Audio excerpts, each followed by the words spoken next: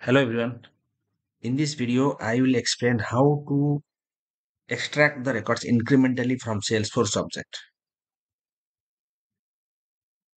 So I have already connected to IICS data integration. Let me create a mapping.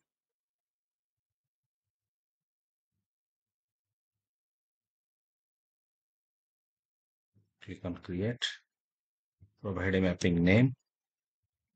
Game underscore SFDC account incremental and click on source. Provide the connection name. Select the SFDC connection. Then select the Salesforce object. In this case, I will select the, the object which I have created.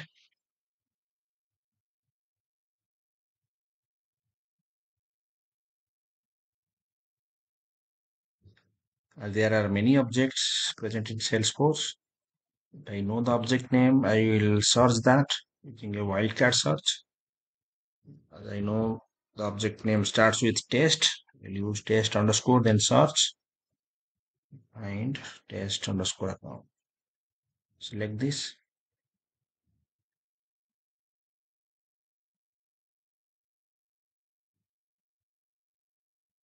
Go to query option.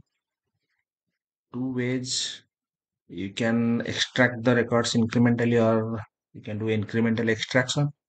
Either you use that filter here or in this SOQL filter condition Salesforce object query language you can use that uh,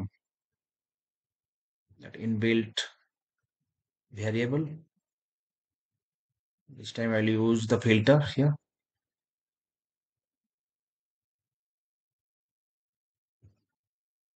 so let me connect to Salesforce. Test underscore.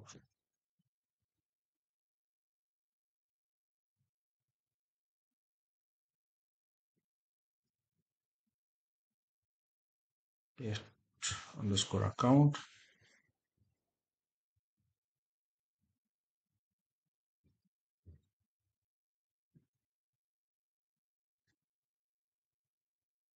select the fields query you can see there are five records already present. For incremental extraction what I will do I will use this last modified date field.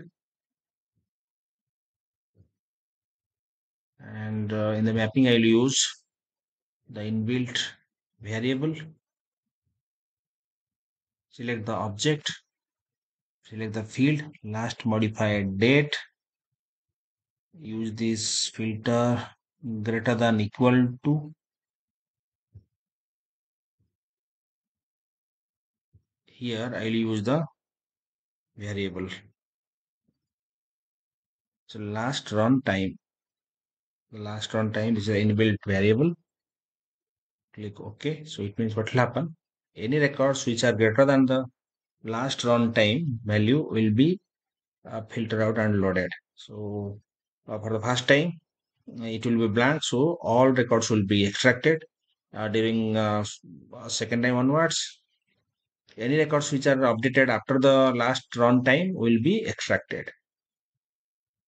Click on ok.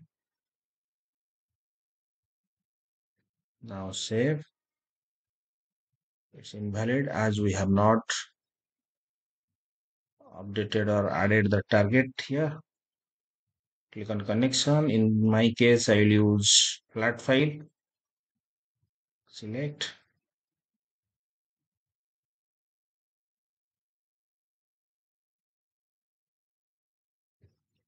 I select the create new at runtime means whenever the job runs the file will be generated make it as uh, tgt flat file test underscore account dot csv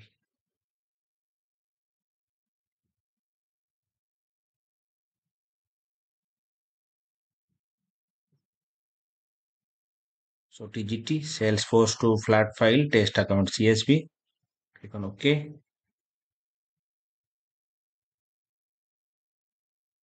Now save the mapping. So the variable whatever we have used,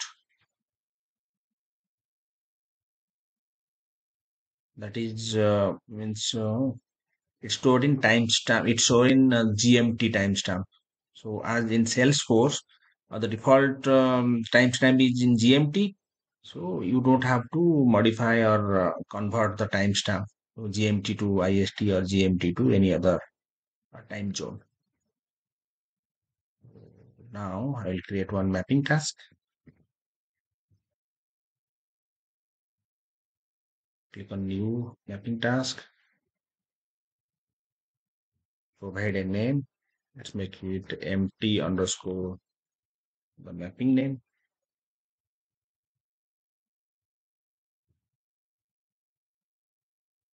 I have to provide the runtime environment. Click on next. Finish. So our mapping and mapping task both are ready. Um, go to Salesforce. You can see there are five records present already. So once we run the job, five records will be loaded to the flat file. Now run the mapping task. Click on my jobs. You can see the job is starting now.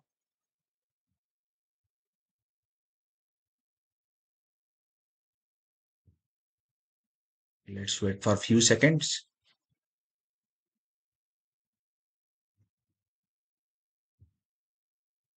The mapping is still running.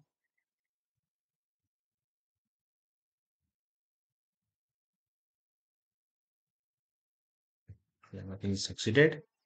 Then click on this instance name. As you can see, there are five records in the source object and five records have been loaded during first run. Now go to the target location and see the file. As you can see, we provided the file name as TGT SFDC flat file test account.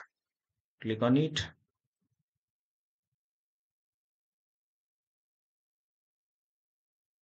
Yes, as you can see, five fields have been, five, sorry, five records have been loaded in the file. And as I have selected all, all fields, so all fields have been populated to the file.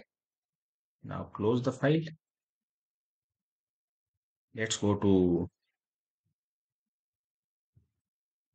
workbench. As we know, there are five records. Now what I will do, I will update one record. So there are few ways to update. Either go to the ID field. Let's go here. Scroll the cursor to the ID value. If you can see here, update, delete, undelete, pause, view in Salesforce. Either you click on update and update the value or view in Salesforce. Right click on this view in Salesforce so that it will be opened in another window. So this is the record present in Salesforce. Um, click on edit. What I will do now, there the address value is ABCD layout. I'll make it uh, ABCDEF layout and save it. You can see it was 256 or something previously now 310. Let's go to workbench run the query. Can see for this record, the last modified timestamp was 936. Let's query it again.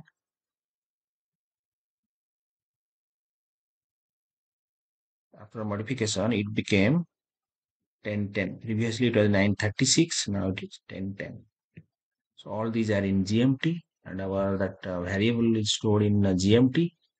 Now, uh, let's run the job again. You can run it from here also.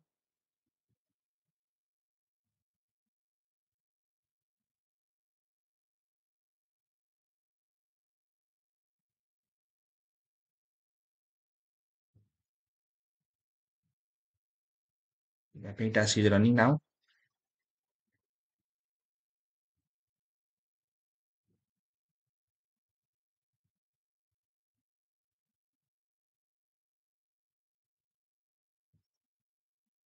Can see it shows one rows processed. Just because we updated one rows so the updated uh, last modified timestamp is greater than the last run date. So it satisfies for one record. That's why only one record has been extracted from source and loaded to the target. Let's go to target.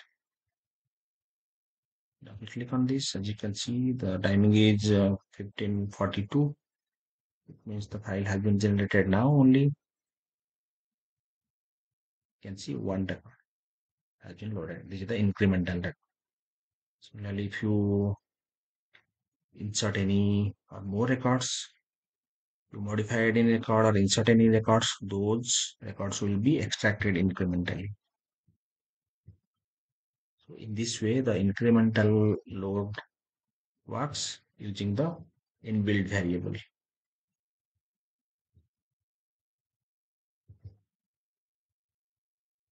otherwise you can use that inside the SQL query. This time we have used uh, in query options added the filter.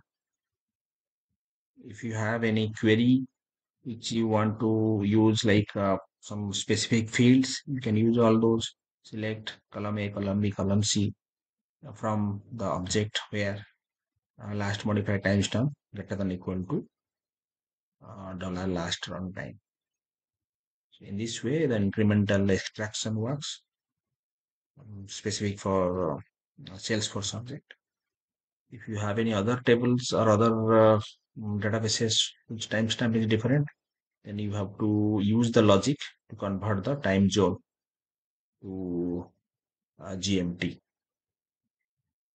Thank you.